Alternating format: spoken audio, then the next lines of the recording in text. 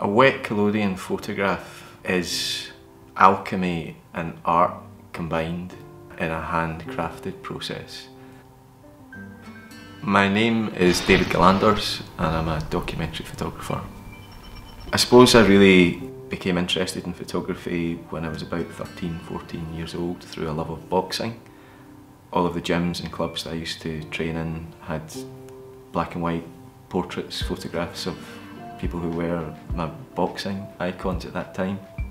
I started to take pictures of boxing, I suppose when I got a bit fed up of being punched in the face.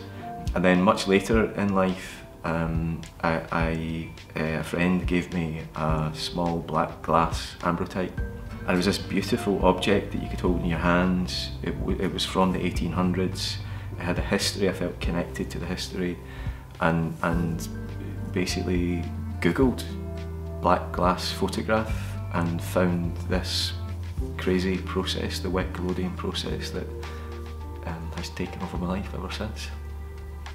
You make a wet photographic emulsion onto glass, black metal, anything really, and you expose that to light.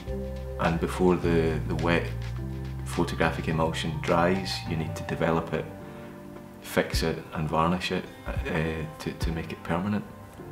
The collodion process does use um, chemicals which are considered dangerous. We use a potassium cyanide fixer.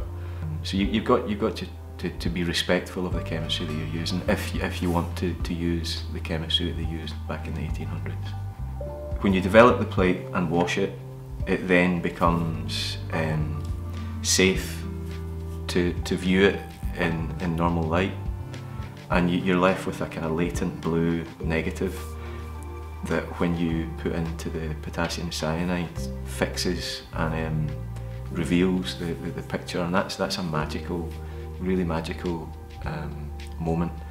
But I also really like the, the final stage, the varnishing stage. It's I suppose the stage in the whole process where it can go most wrong.